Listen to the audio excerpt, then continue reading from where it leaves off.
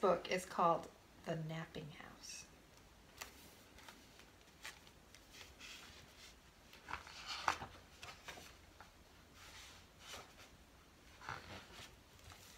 There is a house, a napping house, where everyone is sleeping.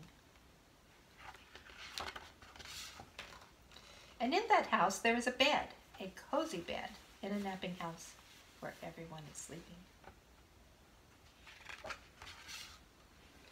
And on that bed there is a granny, a snoring granny, on a cozy bed in a napping house where everyone is sleeping. And on that granny there is a child, a dreaming child, on a cozy bed in a napping house where everyone is sleeping. And on that child there is a dog, a dozing dog, on a dreaming child, on a snoring granny, on a cozy bed in a napping house where everyone is sleeping. And on that dog there is a cat, a snoozing cat, on a dozing dog, on a dreaming child, on a snoring granny, on a cozy bed in a napping house where everyone is sleeping.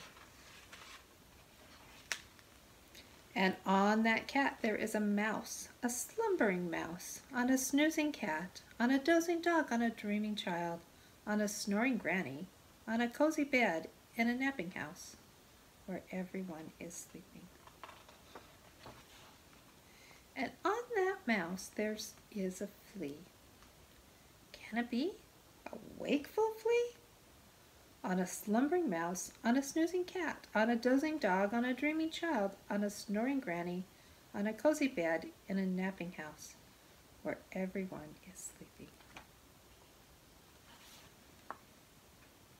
A wakeful flea who bites the mouse.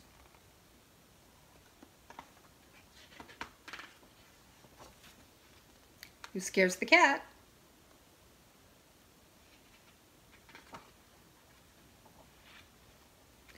claws the dog, who thumps the child.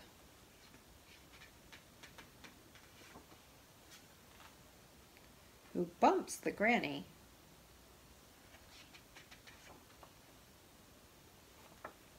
Who breaks the bed in the napping house where no one now is sleeping.